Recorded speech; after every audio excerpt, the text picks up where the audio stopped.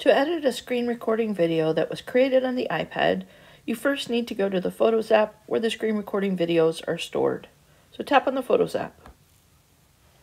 Next, tap on the video to bring it up full screen. You can go ahead and turn the audio on. You'll also see a counter. Go ahead and pause the video and then tap on Edit. Tap on the video thumbnail timeline at the bottom of the screen below the video. Tap and hold the yellow handles on either the left or the right side and start to drag them toward the middle of the video to trim the video. Tap the play button to figure out how much of the beginning of the video you want to cut off. You can drag the white playhead across the video to find the spot that you're looking for.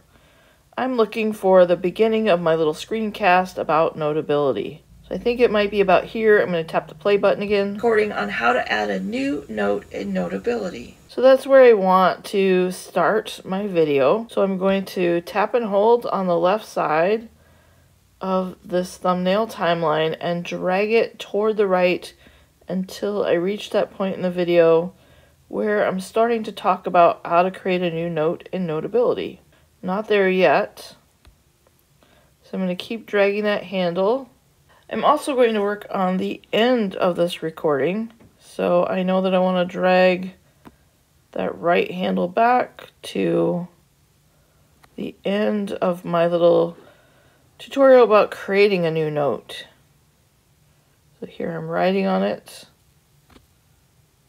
And I believe that's where I stop.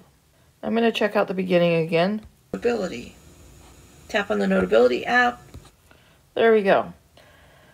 All right, now that I've trimmed the beginning off where I'm starting the recorder, kind of talking about the demonstration, and I've trimmed off the ending where I'm tapping on the red button to stop that recording after I'm finished creating my new note. What I have left inside of those yellow handles is my little sample tutorial video, my little screencast about creating a new note. So I'm going to tap on done. And I'll save this video as a new clip just in case I want to come back and do something else with this video. So here's our finished video with the beginning and the end trimmed off. I'm going to go back to the Photos app, to my photo gallery. I can see there that this trimmed video is now a minute and six seconds.